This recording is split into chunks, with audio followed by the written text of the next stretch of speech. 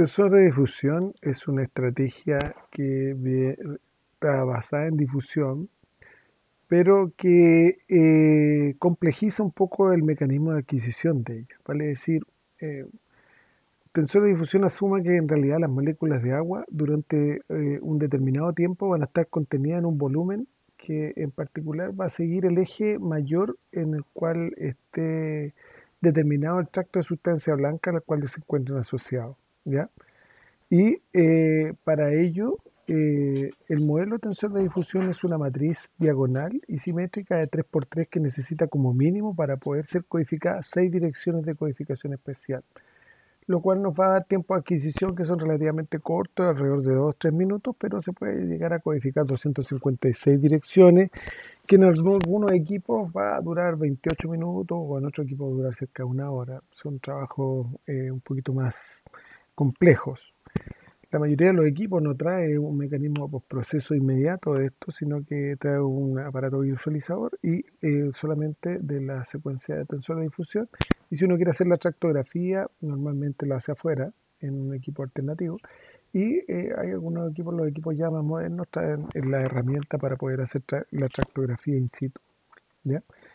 Eh, lo que eh, está caracterizada por esta técnica es detectar la, la, anisotropía que tiene la difusión en la sustancia blanca en particular y que está representada como la capacidad de difusión eh, que tiene el agua en los tractos, en los, ejes, en los distintos ejes del espacio.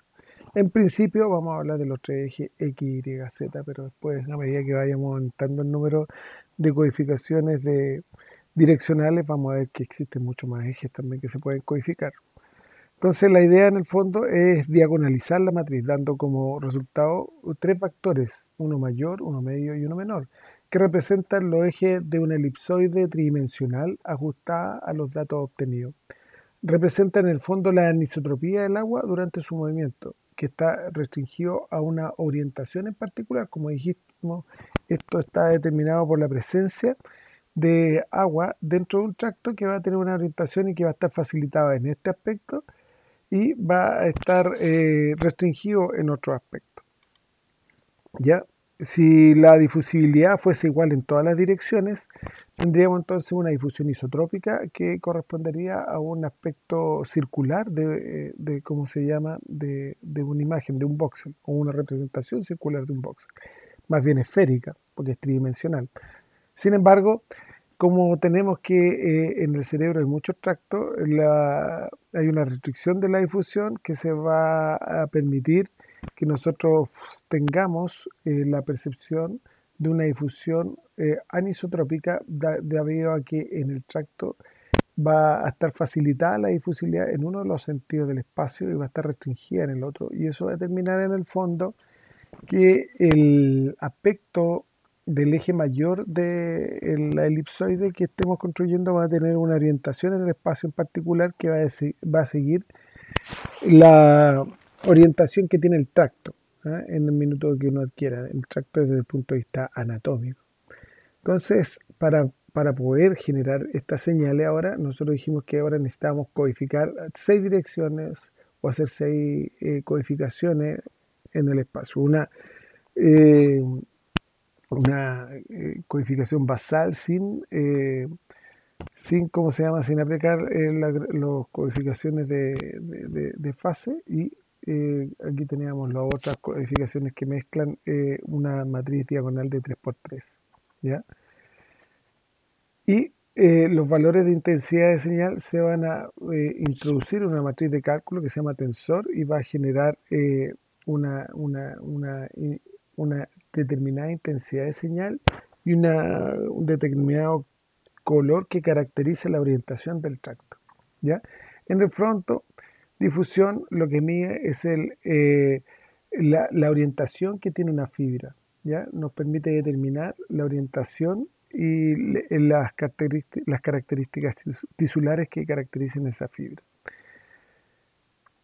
La la fracción de anisotropía se calcula a partir del tensor de difusión y las áreas de mayor anisotropía tienen una distribución de probabilidad más alargada, lo que refleja una mayor probabilidad de difusión en una dirección en particular. Por eso tenés que eh, lo que obtenemos nosotros como una especie de, de elipsoide. ¿ya?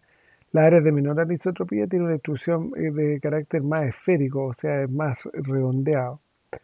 Cada voxel en el fondo representa la magnitud de difusión en todas las direcciones y se asume una forma en relación a la dirección predominante que hay dentro de todos los eh, señales dentro de ese voxel.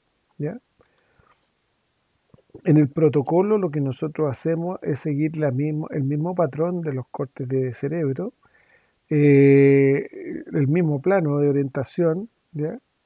En relación a la comisura, el plano intercomisural en el plano axial, y, pero hacemos una mucho mayor cantidad de cortes. Son cortes más finos, eh, isotrópicos de 2,5 por 2,5 por 2,5, con eh, en este caso un espesor de corte de 2,5. ¿ya? Y una secuencia ecoplanar spin eco, vale decir, es la misma secuencia que ocupábamos en difusión, pero la estamos caracterizando o vamos a ocuparla de otra forma. en este caso que teníamos 7 promedios, eh, vamos a tener una secuencia que está durando en este equipo que es un poco antiguo ya, 8 minutos 20. ¿ya? La matriz es baja porque nos interesa eh, determinar las variaciones de contraste que se encuentran en la resolución. Y vamos, no vamos a ocupar eh, eh, como, como decíamos, una resolución de fase porcentual, sino que vamos a, vamos a ocupar una matriz cuadrada. Y lo que sí vamos a, para poder disminuir los tiempos, vamos a ocupar una, un llenado parcial del espacio K, es decir, vamos a ver Hal Fourier, y vamos a ocupar una herramienta de interpolación de datos para tener una, una mayor riqueza de información. El sampleo de la muestra, eh, donde existen estas seis direcciones de codificación distintas, con imagen referencial que era, la B igual 0, eh, se va a hacer en un espacio virtual que se llama Q-Space y no en un espacio que sea K que es planar, sino que va a ser un espacio tridimensional. Los valores de, B van a ser 0 y 1000, en este caso va a omitir los valores de 500. Aquí tenemos 30 eh, direcciones en el espacio y estamos eh, en un rango de los 7, minutos, 8 minutos, ¿ya? Y eh, vamos a llenar este espacio Q. ¿ah? Cada, punto va a corresponder a una dirección y a la fuerza específica de la gradiente, en particular en ese lugar, lo cual va a permitir eh, muestrear este espacio Q. ¿ya? Se puede hacer en forma cartesiana, que ocupa este, un sampleo de línea por línea, un, muestreo elíptico de línea única o un muestreo eh, elíptico de, múltiples líneas que se samplean en forma eh, simultánea o un muestreo radial que lo que te permite en el fondo es disminuir, aumentar la señal y disminuir la, las posibilidades de movimiento, aumentando nuestra relación señal-ruido. Entonces, en las secuencias de tensor de difusión, nosotros vamos a tener que se van a obtener imágenes en B0, en B1000, ADC. Accesoriamente a esto vamos a obtener lo que vamos a llamar un mapa anisotropía fraccionado, que es una, un mapa paramétrico cuyos eh, cuyas variables numéricas van a eh, oscilar entre 0, que es la máxima isotropía, y 1, que es la máxima anisotropía. Y eh, la máxima isotropía nosotros la vamos a encontrar en el espacio subaracnoideo, en los ventrículos. ¿Por qué? Porque tenemos poca señal debido a que eh, la isotropía del agua es máxima. La máxima anisotropía ahora va a estar relacionado con uno, con imágenes hiperintensas que están relacionadas con la restricción del movimiento de una dirección en particular y eso nos va a permitir visualizar, como vemos aquí, los tractos de sustancia blanca en particular. Entonces, las áreas que nosotros podamos ver eh, más intensas eh, son las áreas más anisotrópicas y aquellas que son más isotrópicas las vamos a ver más oscuras. La dirección principal de cada difusión de cada voxel, por ejemplo, que lo estamos viendo graficada como una línea roja en este ejemplo, eh, se superpone a un mapa de, fracción de anisotropía. El gris más claro indica que hay una mayor eh, anisotropía y el gris más oscuro, eh, da o determina que hay una mayor isotropía. Y dentro de la sustancia blanca, generalmente este plano va a estar determinado por la alineación que tengan los distintos tractos de sustancia blanca va a permitir eh, generar mapas esquematizados por colores que nos permitan visualizar los tractos de sustancia blanca, donde la intensidad de la señal o el brillo que tenga la señal va a ser eh, proporcional al grado de anisotropía fraccionada. Y tenemos este mapa direccional que eh, nos indica en una imagen la, que está codificada en colores la dirección que tienen los tractos. En este caso, eh, en forma convencional, se determinó que el color rojo va a identificar los tractos comisurales, el color verde, la fibra de asociación, y el color azul, la fibra de proyección. Entonces, eh, eh, estos factores van a estar determinados como por estos colores, que como, ha sido, como les había dicho, había sido propuesto por Pierre Paoli en una convención, y los rojos van a ser derecha-izquierda, verde antero-posterior y azul eh, super inferior. Entonces la orientación de un tracto va a estar eh, determinada o definida por un color en particular en función de la orientación que tenga el tracto, ¿ya? Y, eh, y nos va a permitir construir mapas que van a, van a valorar la difusibilidad y los grados de anisotropía que toma la muestra según cada box. En el corte los tractos de fibra se reconstruyen. Eh, por ejemplo, aquí estamos reconstruyendo el esplénido del cuerpo calloso desde un punto de partida con un algoritmo eh, que se llama tracto y después va a permitir ver solo líneas. ¿ya? Y nos va a permitir hacer una reconstrucción de este tipo que se llama tensor de difusión. Entonces uno va a poder ver la orientación que tiene la fibra en función de eh, ciertas estructuras anatómicas que nos interese evaluar. Aquí es muy sencillo, por ejemplo, los tractos de proyección eh, espinales los vemos muy fácilmente a través de la médula, ¿se fijan? Son de línea azul porque van desde la corteza hacia la médula y es muy fácil poder objetivar en ellos. Sin embargo, hay ciertas limitaciones eh, que están relacionadas con que cuando se cruzan las fibras, por ejemplo, aquí tenemos cruce de fibra en, áreas eh, del, cuerpo calloso, por ahí, en tracto, en los cuerpos giniculados. Eh, uno lo que quiere esperar en términos teóricos es que hubiese múltiples pics de colores distintos a lo largo de la orientación de cada tracto. Sin embargo, en un tensor de difusión eh, normal lo que, lo que nos ofrece es una señal análoga a una señal de eh, máxima isotropía, ¿cachai? O sea, no, no hace la diferencia entre eh, el cruce de varias fibras y un área de mayor isotropía.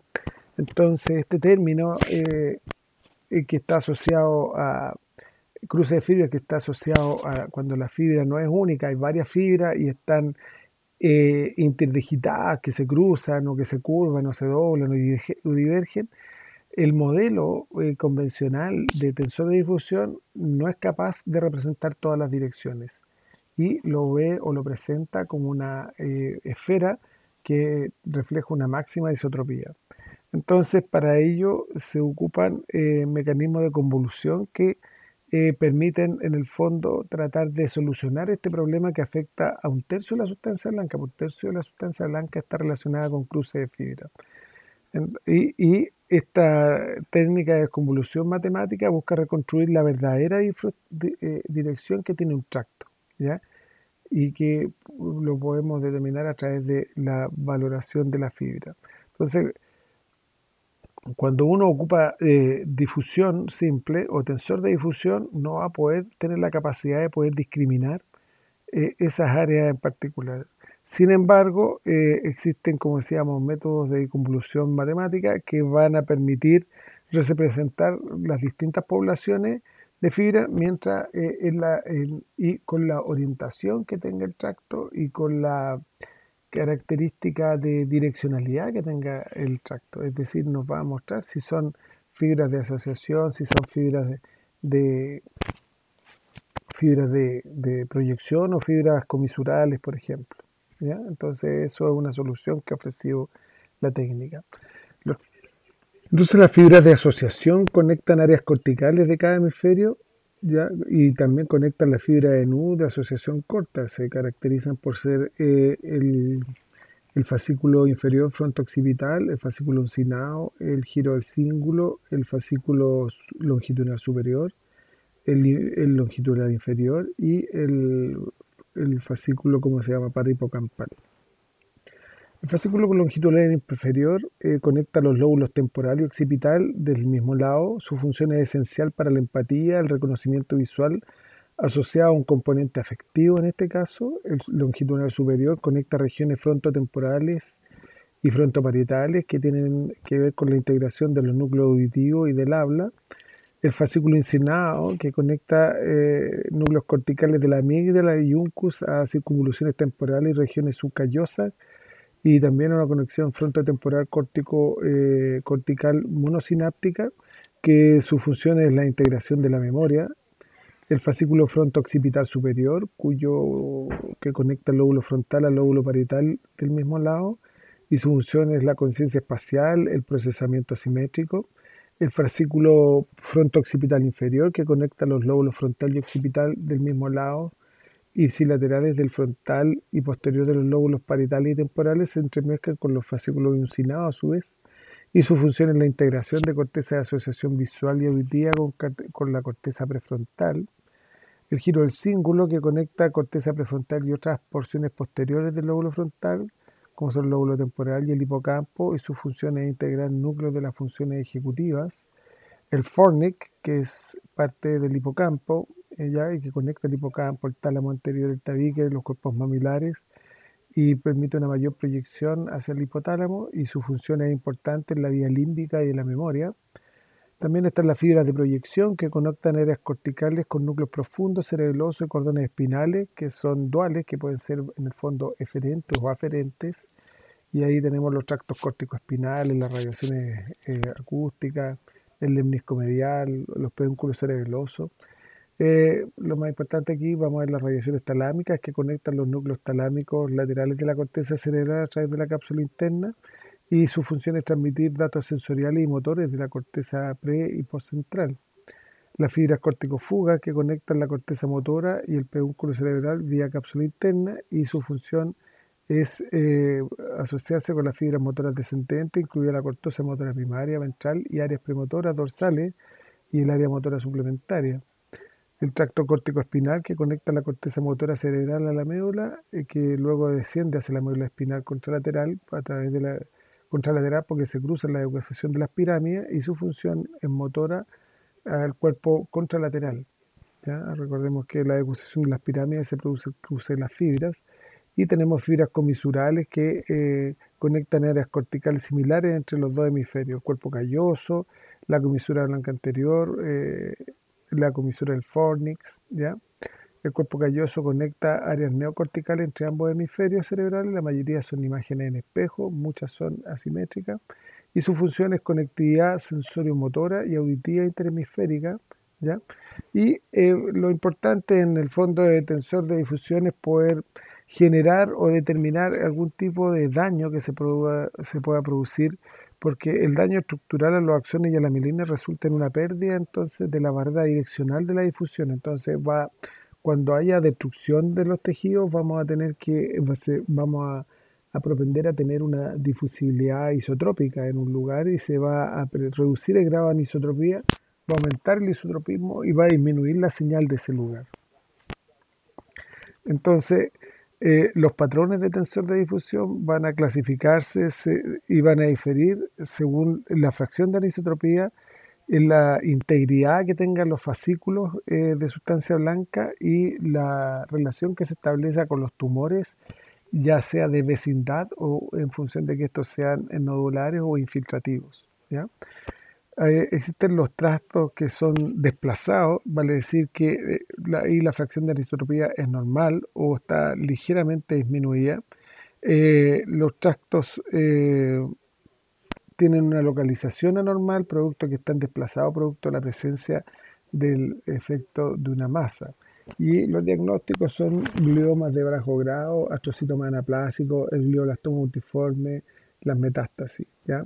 Se observa principalmente en lesiones de crecimiento lento, por ejemplo, como las metástasis, que tenemos todavía, por ejemplo, los mismos colores. Sin embargo, aquí hay un área donde no vemos nada, producto de la sustitución, y que eh, hay una máxima isotropía en este lugar, y en este lugar vemos que están desplazados los tractos que forman parte del cerebro. El tracto con edema ahora está más relacionado con metástasis, que traduce la presencia de edema, eh, disminuye sustancialmente la fracción de anisotropía, eh, disminuye el brillo, el color en el mapa direccional y eh, conserva sus tonalidades, pero también podemos tener colores anormales en el mapa. Se observan, como decíamos, especialmente en metástasis, y aquí lo podemos ver que existe un área de hipointensidad en el centro en la, secuencia T1 con medio contraste de hiperintensidad en la secuencia FLAIR y vemos que en los tractos aquí vemos algunos colores ahí eh, en forma vaga dentro de la situación de la lesión y vemos ahí una reducción significativa de la fracción de anisotropía.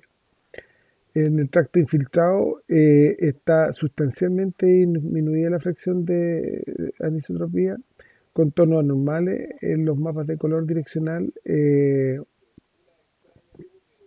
cuesta identificar a veces los tractos y lo vemos en los astrocitomas neoplásicos, los glioblastomas multiformes y se caracteriza por una anisotropía disminuida, se fijan, es difícil establecer los calores, eh, lo que sugiere que en el fondo hay una disrupción de la organización de los tractos aquí que están rotos o que están empezando a romper.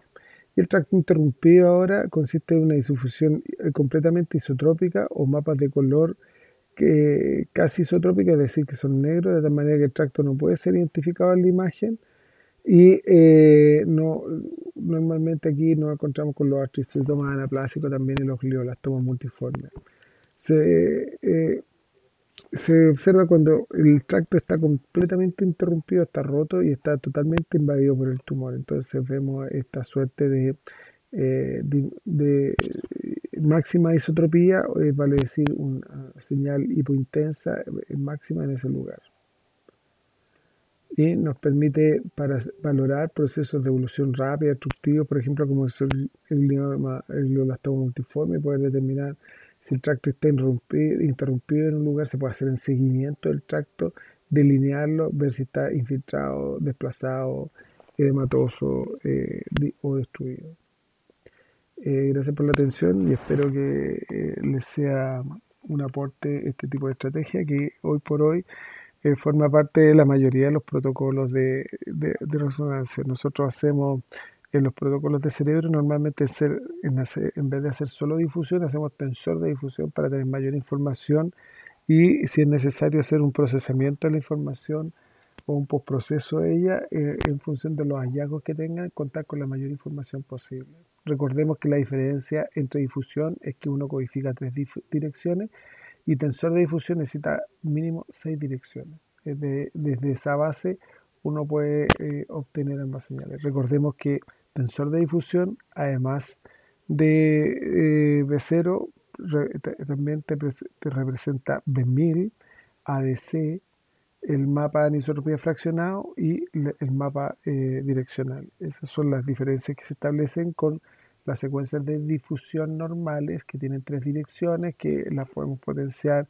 en los valores de B que ocupemos, que normalmente son 0, 500 y 1000, y eh, haya una también construcción de un mapa de, de un coeficiente de atenuación de difusión que es un, de carácter cuantitativo.